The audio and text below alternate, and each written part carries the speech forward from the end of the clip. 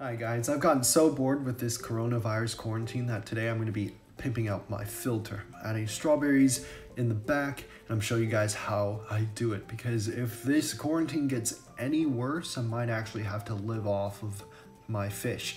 Anyways, the strawberry is going to help reduce some excess nutrients, reduce some algae as you can see, although my buce is pearling, there are some algae on there. So let's get started, let me show you how it's done. So I've been doing this with basil and this is actually a trimming from my 10 gallon tank. It's been here for about a week now. It uh, really doesn't know any tricks other than maybe if I don't have enough nutrients in the water, it'll turn yellow and like possibly die on me. So let me open up the lid and uh, show you guys what's under it. It's only been a week and you can see that it's already growing so many root little pieces of root that kind of look like string, but I promise it's roots. So I guess we can uh, take that out now because we're gonna be drilling holes. Yeah, so today I'm gonna be using a power drill to drill holes in the top lid of my aquarium filter. If you don't wanna mutilate your filter, I suggest you use another plant. You can use an herb or something that's not as absolutely thick as strawberry rhizomes are. And so this next section was like a really long shot of me flexing and showing off my strawberries.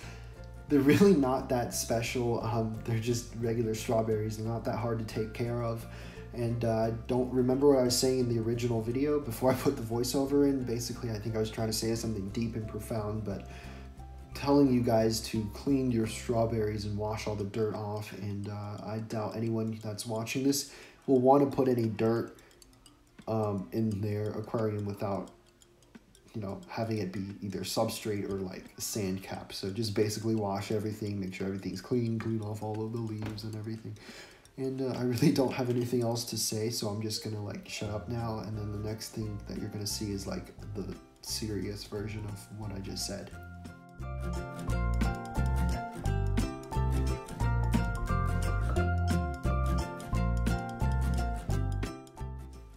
Here's the other one, same deal. You're gonna want to remove all of the dirt and all of the old leaves. And uh, for this one, you can actually see some flower buds in the middle there. I don't know if they'll actually flower because the strawberries will have to go through a conversion stage to get used to growing in water. And then if you get the strawberries outside or anywhere that's not inside and clean, you want to soak these overnight in water to get rid of all the dirty stuff, all the pesticides. Now, I actually just took a pot from the kitchen while my mom wasn't there and we went into the garden, dug up all the strawberries and washed them. So I'm actually going to hide this under my desk overnight to soak.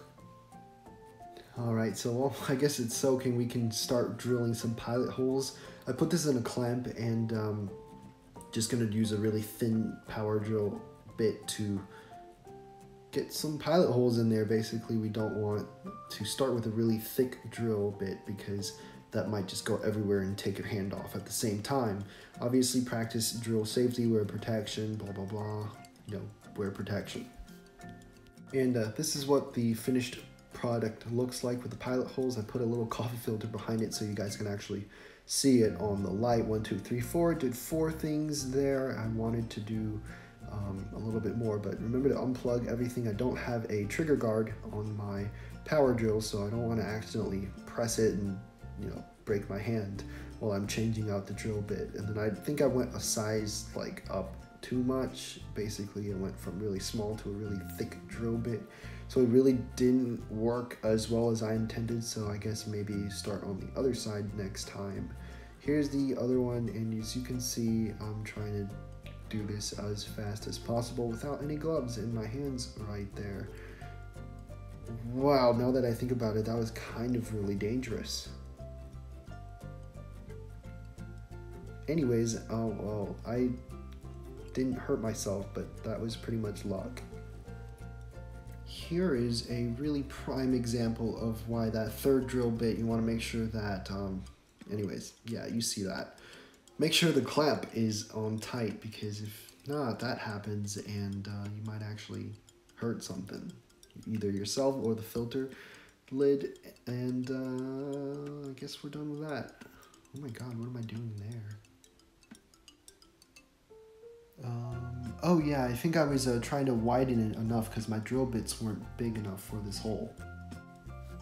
Anyways, here's the finished product. As you can see, there's still a lot of plastic on there. What I'm going to do is I'm going to take a file and file down everything so that the plant roots and the plant itself actually won't get hurt on the sharp edges. They're like little babies at this point.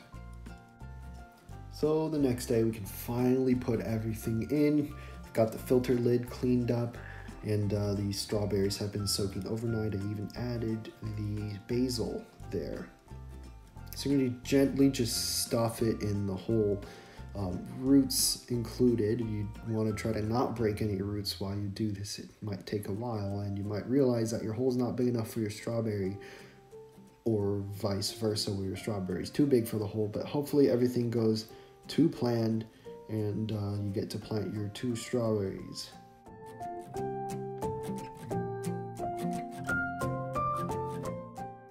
And the basil roots are a little bit longer but that's not a problem. Just go ahead through the throw the roots in first and uh, pull it out on the other side kind of like if you're sewing or trying to put a needle and thread together to start sewing.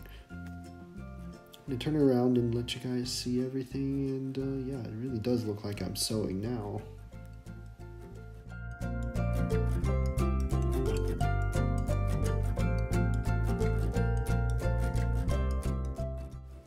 before we end it, gotta make sure we sneak into the kitchen and clean and put that pot back where it came from. So hopefully my mom won't need to use it until after it's dried so she doesn't suspect a thing. And there it is, folks. I mutilated my filter for you guys today. I actually kind of like the way it came out. So if you want to see an update, don't forget to hit that subscribe button, hit the like button, and uh, my nails are a little bit longer than I kind of want them to be, so I'm going to go cut my nails now and upload this video. Thank you guys all so much for watching. I hope you guys stay safe and healthy during this quarantine. I'll see you guys next time.